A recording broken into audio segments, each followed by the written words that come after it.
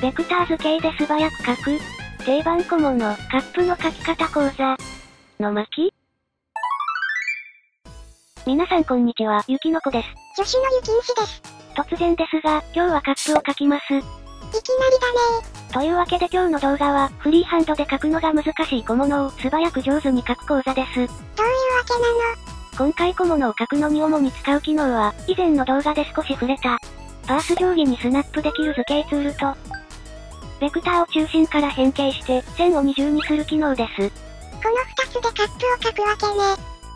でもどうせ書くならこんな普通のカップなんかより、もっと難しくてかっこいいのがいいよまあまあ何事も基本から入るのが大事なのです。それじゃあ早速始めていくよ。それじゃあまずはこのツールでパース定規を設置していきます。今回はカップ全体が均等に見えるように、愛染め寄りの2点透視図法にするよ。背景じゃなくて小物を書くのにもパース定規が必要なの？パース定規があると、図形ツールがスナップしてくれるし、他の背景やキャラクターと大きさや形、向きを合わせるときに楽なんだよ。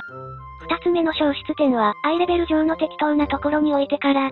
オブジェクトツールでアイレベルを右クリックして、アイレベルを固定してから、消失点を調整すると、アイレベルを平行にしたままの、高さ方向が鉛直の2点透視図法にできるよ。これでパース定規の設置は完了だね。それじゃあベクターレイヤーにカップを書いていくよ。まずはカップの縁を楕円ツールで書きました。パース定規を設置してあるから、こんな感じに図形ツールがスナップしてくれるよ。次はカップの縁を二重にするよ。オブジェクトツールで縁の線をコピペして、オルトとシフトキーを押しながら、中心に向けて小さく変形しました。おー、同心円定規なしで同心円が書けたよー。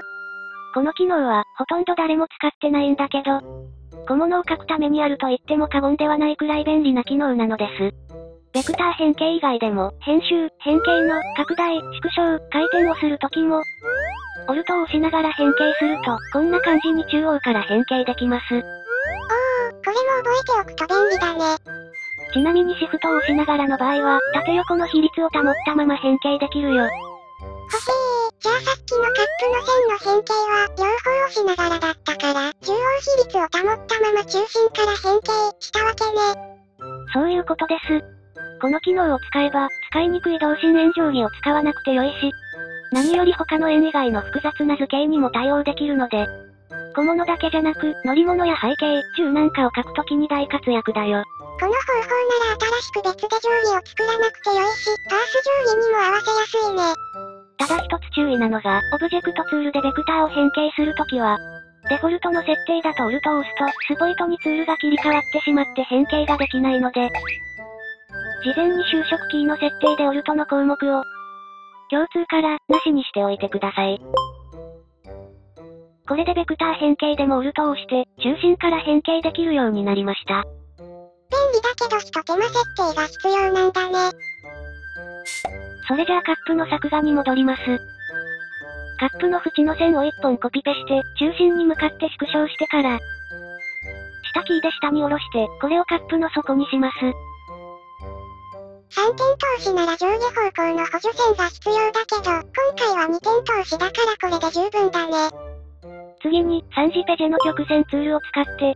カップの上の縁と底をつないで、カップ本体を描きます。3次ペジェの曲線ツールは、地点からドラッグして、終点、調整、調整って感じで曲線を描くツールで、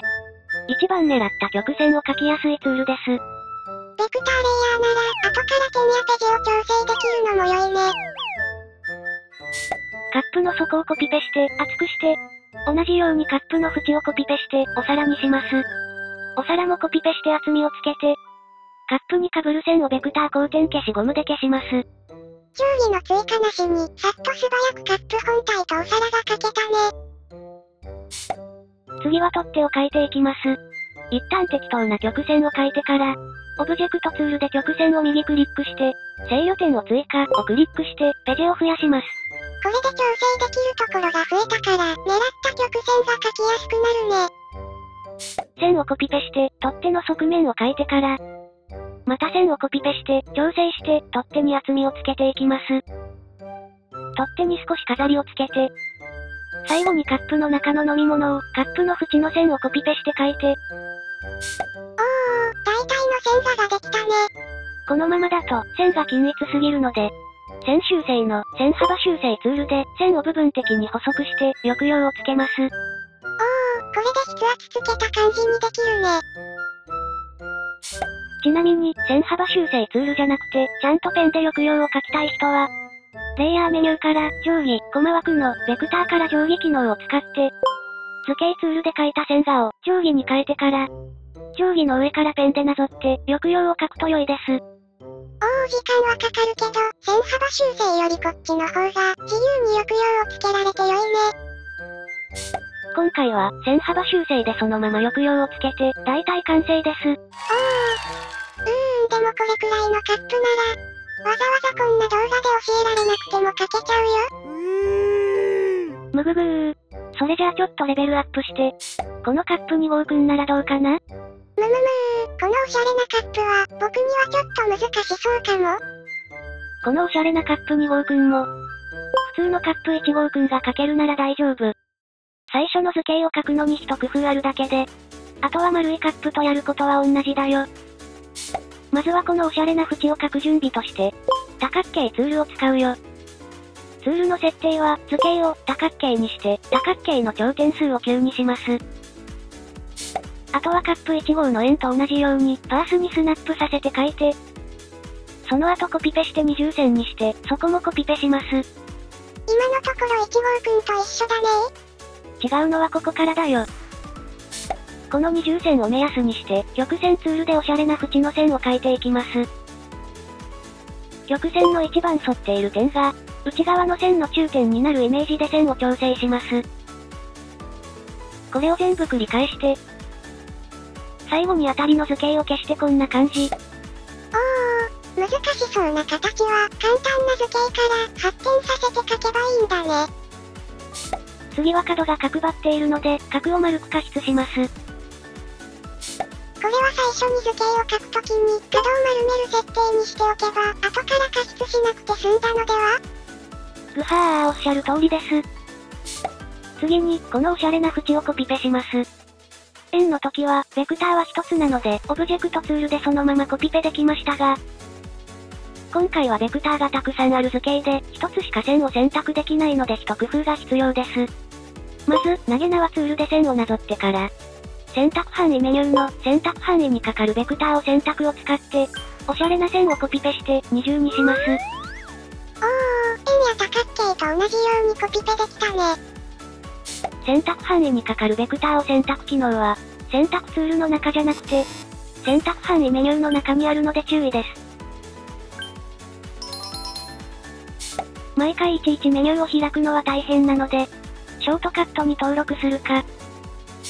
選択範囲ランチャーに登録しておくと良いです。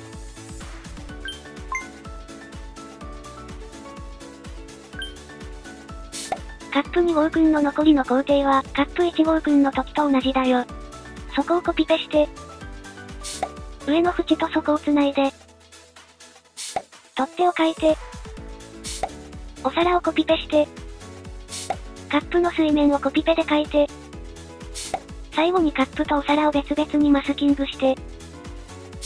それぞれ編集メニューの選択範囲を縁取りでアウトラインを太くしたら、カップ2号くん完成です。おー、割と簡単に書けたというわけで、いろんな技を使って2つのカップを書く動画でした。カップ2号くんも難しそうに見えたけど、最初の縁を書くとこ以外は、1号と同じで簡単だったね。複雑な形は単純な図形に分解すると書きやすくなるね。漫画を描いていると、どうしてもキャラクターだけでなく、たくさんの小物や背景を書く必要が出てきます。今回やった書き方は、カップよりも難しい銃や背景や小物を、上手に素早く書くための小技がみっちり詰まってるから、ぜひいろんな場面で試して実践して、自分の漫画を描くときに役立ててください。それではまた次回の動画でお会いしましょう。バイバーイ。